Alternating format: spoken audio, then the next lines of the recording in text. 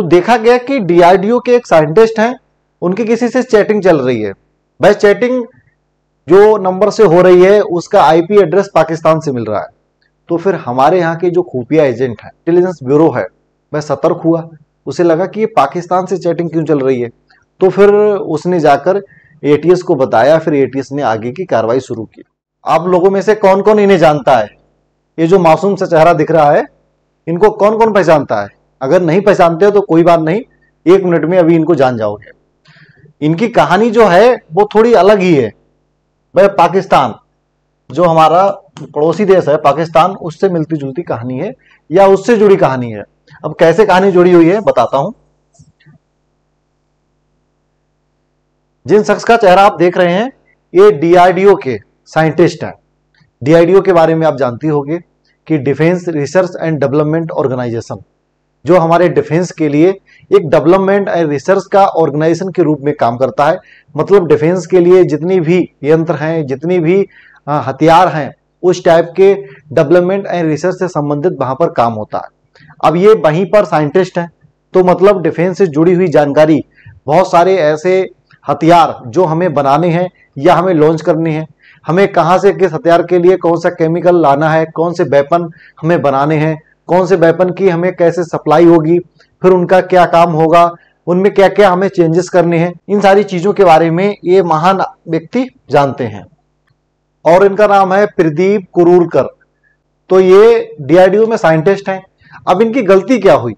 इनकी गलती केवल ये हुई कि एक पाकिस्तान की तरफ़ से एक लेडी ने इनको व्हाट्सएप पे मैसेज किया था, ऐसे मैसेज कर दिया था कि गलती से आपको मैसेज आ गया, मैं किसी और को मैसेज कर रही थी। अब ये इतने मासूम से, इनको नहीं समझ में आया कि ये सारी चीज़ें क्या हैं। तो पिछली साल अक्टूबर से बताया जा रहा है कि इनकी चैटिंग की स्टार्टिंग हुई। अब उस लेडी ने क्या किया कि इनको नहीं बताया कि वो पाकिस्तान की रहने वाली है। इनको बताया कि वह इंग्लैंड में रहती है, वह भी एक इंडियन है और पाकिस्तान से बहुत ज़्यादा नफरत करती है। पाकिस्तान के बारे में उसने कई सारी मतलब एक तरीके के जो अंदर अपने जो भरा होता है, जो गुस्से से भरा होता है, वो चीज़ें व्यक्त की कि ये पाकिस्तान क्या है, पाकिस्तान बहुत ही बेकार है, हमारे लिए खतरा है। अब ये सुन के भावुक हो उठे कि बताइए, ये तो बिल्कुल हमारी जैसी है, इतनी अच्छी लेडी पाकिस्तान से नफरत करती है तो ये ज़रूर इंडियन ही होगी। इनकी भाई आगे अपनी बातचीत चलने लगी। इन्होंने बातचीत के चक्कर में ये भूल गए कि ये डीआरडीओ के साइंटिस्ट भी हैं। अब यहाँ पर मामला बन गया है हनी ट्रिप का। हनी ट्रिप में क्या होता है कि जो महिलाएँ होती हैं, इनका काम होता है ऐसी बेवकूफ़ बनाना, अपने जाल में फंसाना। अब ये भी मासूम से वैज्ञानिक, साइंटिस्ट उसके जाल में फंस गए और इन्होंने इंडिया की डिफेंस से संबंधित जानकारी भी उसको भेज दी। क्योंकि अब इनको इतना याद नहीं रहा कि अगर ये लेडीज़ है, नॉर्मल हमारी फ्रेंड है तो इसको इस टाइप की जानकारी क्यों चाहिए?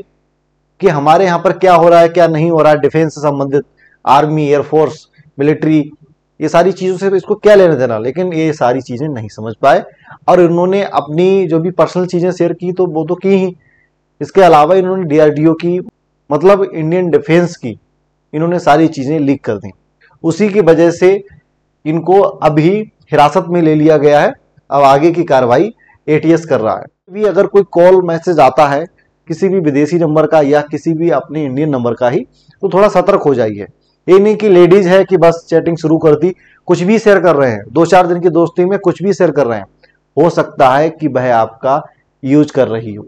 तो इसलिए इन सारे मामलों में ना फंसें। इससे बहुत ज़्यादा परेशानियाँ ही होती हैं बेजती भी होती है, कई सारी मुश्किलें भी आती हैं और पैसा भी बर्बाद होता है।